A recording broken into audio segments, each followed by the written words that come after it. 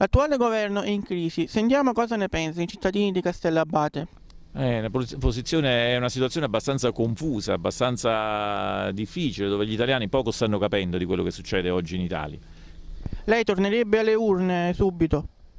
Ma sicuramente sì, bisogna votare, bisogna dare la parola ai cittadini, anche perché visti i risultati, visto quello che succede, visto la divisione nell'attuale governo, è giusto che i cittadini si esprimano. Pensa che il governo abbia ancora lunga vita, diciamo? Questo non lo so, dipende da tanti fattori, però credo che dureranno ancora per un poco perché non conviene a nessuno, almeno ai parlamentari che oggi sono lì, molti di quelli non tornerebbero, non tornerebbero in Parlamento, quindi faranno di tutto per restare lì. Pensi che abbia ancora lunga vita l'attuale governo? No, poca vita, poca vita. Non esiste una maggioranza.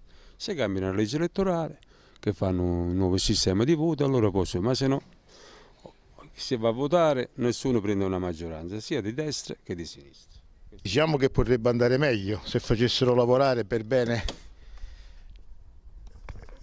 all'attuale governo. Lei pensa che torneremo alle elezioni subito, tra poco tempo? Non credo.